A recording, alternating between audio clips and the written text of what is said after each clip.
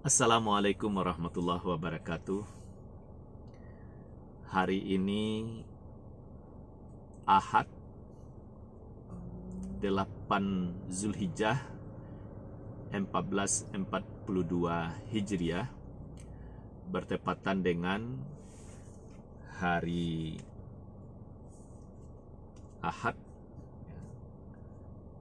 tanggal 18 Juli 2020. Yang jadi catatan adalah karena sekarang tanggal 8 Zulhijjah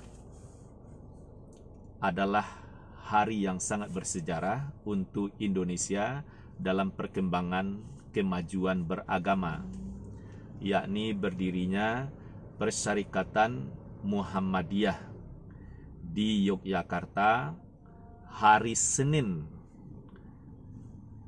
tanggal 8 Zulhijjah 1330 Hijriah bertepatan dengan 18 November 1912. Pendirinya adalah Kiai Haji Ahmad Dahlan, salah seorang murid dari ulama besar yang berasal dari ranah Minang, Syekh Ahmad Khatib Al-Minangkabawi. Di antara teman belajarnya dari ranah Minang, Kiai Haji Ahmad Dahlan adalah Syekh Muhammad Jamil Jambe. Kiai Haji Ahmad Dahlan dengan Syekh Muhammad Jamil Jambe adalah dua orang yang sangat tekun mempelajari ilmu falak yang disebut juga dengan ilmu hisap, hitung menghitung. Yakni tentang arah kiblat, jadwal salat, awal bulan, dan gerhana matahari ataupun gerhana bulan. Mengingat hari ini adalah tanggal 8 Zulhijjah, kita teringat juga eh, bagaimana sibuknya suasana di Mekah, persiapan menuju Mina, terus tanggal 9-nya adalah wukuf di Arafah. Malamnya menuju Muzdalifah, terus ke Mina, melontar jumrah. Tanggal 10 Zulhijjah beridul adha. Nah, di Indonesia, hari Senin, tanggal 8 Zulhijjah 1000 330 Hijriah bertepatan dengan 18 November 1912 Muhammadiyah didirikan oleh Kiai Haji Ahmad Dahlan di Jalan Kiai Haji Ahmad Dahlan sekarang namanya itu nomor 38 daerah istimewa Yogyakarta. Gedung Muhammadiyah yang sangat bersejarah itu bisa dilihat di Tugu Monas ya lantai satu atau di dalamnya itu kan ada museum. Nah, lihat bagaimana suasana upacara di gedung pusat Muhammadiyah di tahun ya menjelang kemerdekaan. Lalu Muhammadiyah sekarang menurut hitungan Hijriah sudah berumur 112. Maka di mana-mana sekarang bertebaranlah ucapan selamat atau milad Muhammadiyah ke 112 Hijriah. Bagaimana cara menghitungnya? 1442 Hijriah dikurang 1330 sama dengan 112. Jadi Muhammadiyah sudah berumur 112 tahun. Umur yang cukup matang, makin lama makin berseri, makin bersinar kehadiran Muhammadiyah di Nusantara dan juga sudah merambah dengan indah di berbagai negara sehingga berdiri cabang istimewa Muhammadiyah di Mesir, di Australia, di banyak daerah Aus apa Asia dan negeri-negeri yang lainnya. Dinamakan cabang istimewa Muhammadiyah yang berada di luar negeri. Soal pendidikan ya itu cukuplah masyarakat dunia mengetahui misalnya rumah sakit tapi hari ini saya ya sebagai kader dan dibesarkan di Muhammadiyah tentu juga mengucapkan selamat milad ke-102 Muhammadiyah gerakanku Al-Islam agamaku. Sehingga di perguruan Muhammadiyah selalu ada mata pelajaran atau mata kuliah Al-Islam dan Kemuhammadiyahan AIK.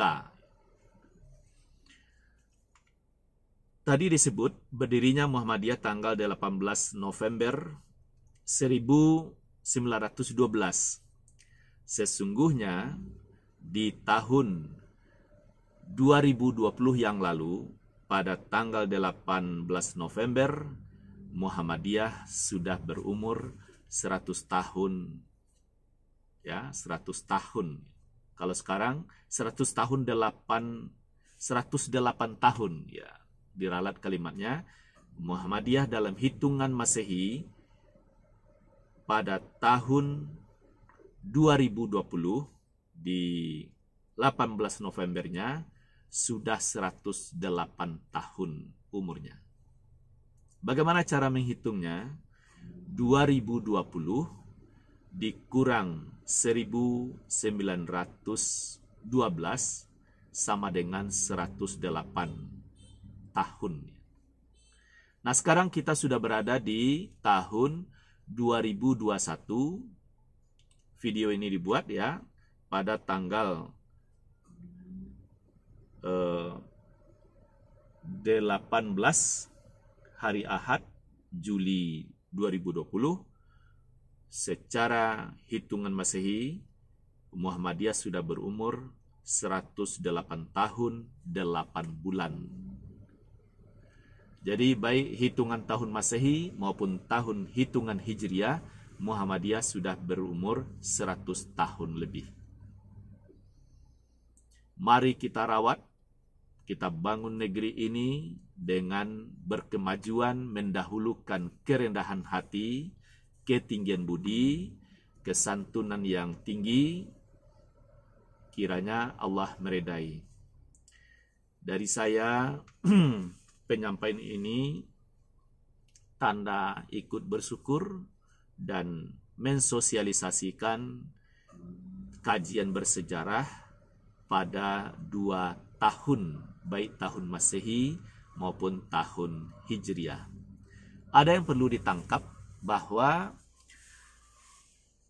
hitungannya lebih banyak ya tahun Hijriah ketimbang tahun Masehi.